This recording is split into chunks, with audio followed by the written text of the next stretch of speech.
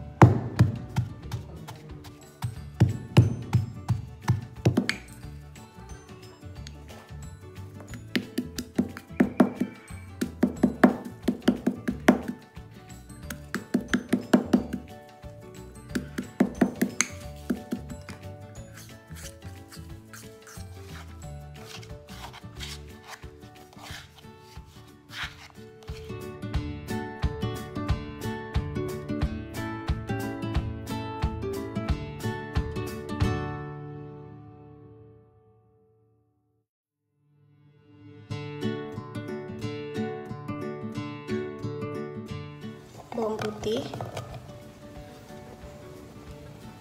Kencur. Garam. Micin juga.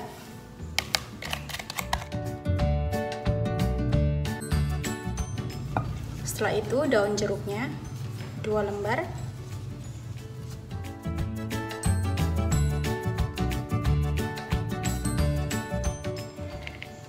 Dan juga asam